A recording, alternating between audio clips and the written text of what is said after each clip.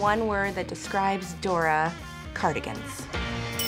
When I first read the script for Impastor, the characters were all very distinct and very clear. And so when I read Dora, that's what I saw in my mind's eye as I was reading. I am exhausted. Dave kept me up all night, if you know what I'm saying.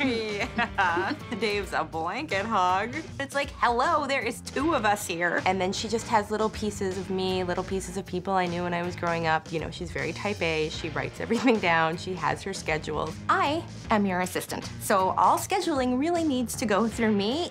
All you have in here is BJ every couple of days. Who's BJ? Dora is sort of like the backbone of the operation, and she kind of does everything and gets none of the credit. So this year, I feel like she's speaking up for herself. I'll try again, but I'll be honest. I am not comfortable around her. Well, suck it up. You're a flippin' pastor. Now I've said the F word. As odd and quirky as she is, it just sort of came out. It's kind of a mixture of what was on the page and then what was in my brain, and it all just sort of blended together.